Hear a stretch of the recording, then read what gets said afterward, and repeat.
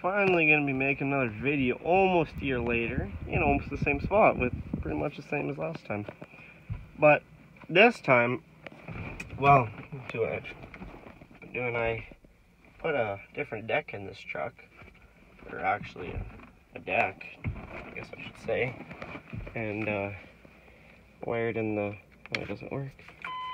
Fishing up turned, but uh, wired in the power seat.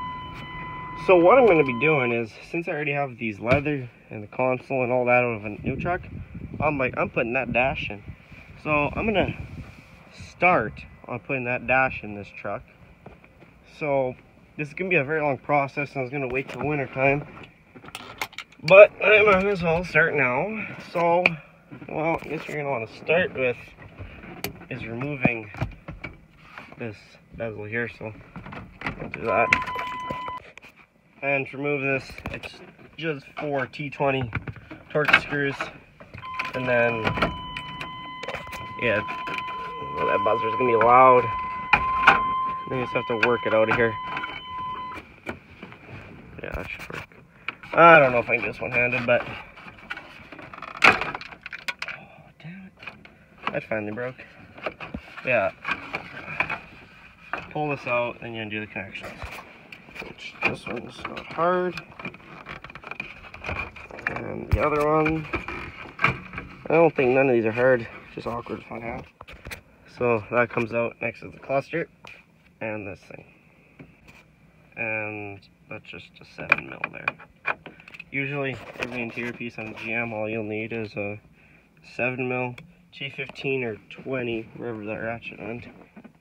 And uh, 7 mil T20 or 15 and a flat blade.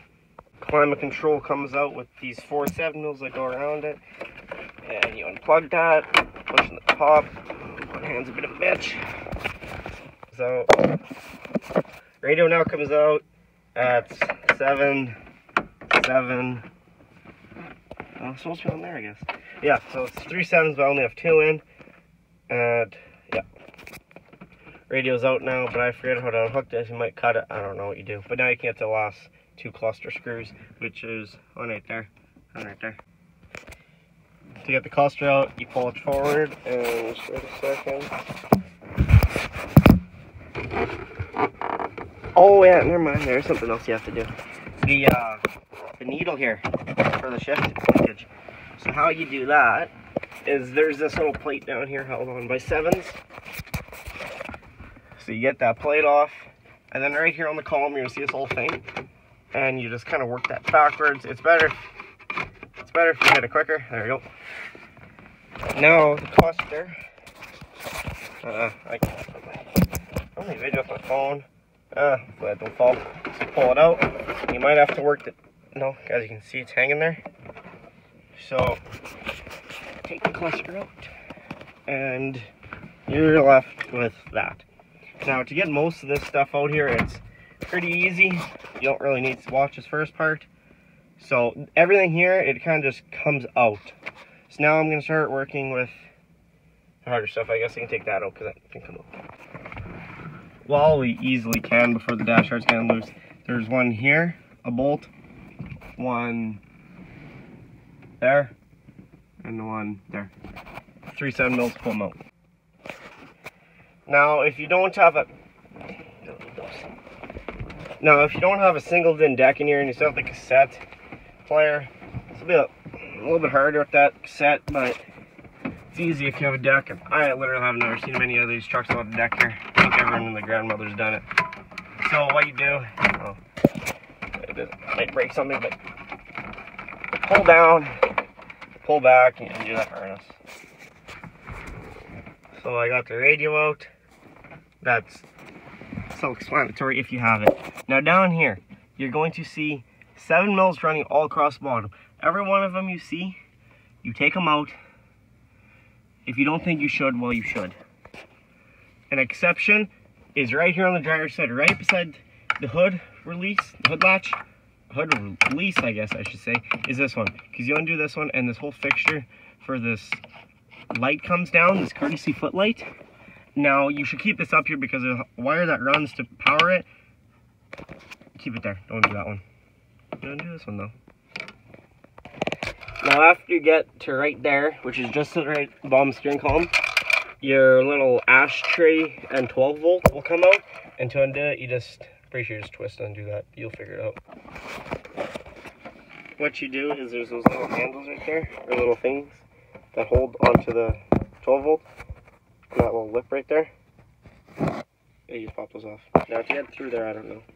I'll figure it out. What I did is I just worked it through right there. On each side, right above the kick panel, there's going to be a 13 millimeter that goes straight up. And to move that might be easiest to take out the kick panel. Now, after you get all those lower dash bolts, you want to come to the glove box, and I don't know if you have to do this. Mm -hmm. Take off that vent. Now you have to take off the speaker cover and undo that one right there. Same on the other side. For simplicity in removing the dash after, you're want to undo this thing. And it's just a bunch of 7 mils all the way around. You'll see them. Don't do the ones that are right around the red trim or whatever colors yours is. So you're just making it harder on yourself. So I got a little carried away. But basically, I showed every bolt you have to take out. So what you do is after this, you have to pop this, where is it, right there. These go over those little bolts and you pop it up and the dash starts to come. Now, I started working on the other side already with undoing connections and such. So basically, you undo the harnesses. Now, I'm just gonna put this back up here so it's a bit easier. But you basically start doing. Okay. So you start undoing connections and you have to drop the steering column, which is just two nuts somewhere in there. Yeah, there's the, oh yeah, right there, you can see it.